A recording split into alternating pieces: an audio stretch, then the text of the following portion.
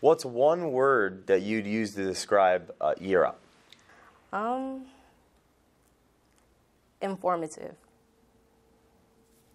I think that's the word I'm going to go with. That uh, information that you've learned has given you power in these jobs that you have now and your future. Yes.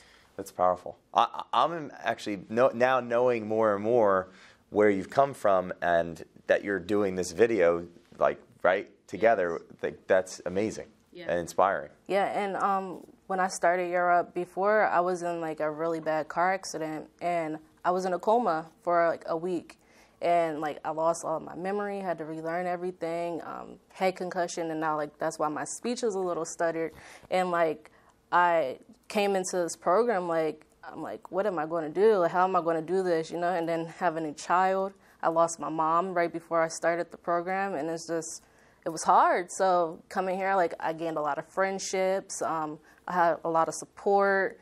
You know, there, I always had someone on my side. You know. Yo, well, now you got another. Yes. this was awesome. Thank you so much you. For, t- for today. Thank you. Yeah.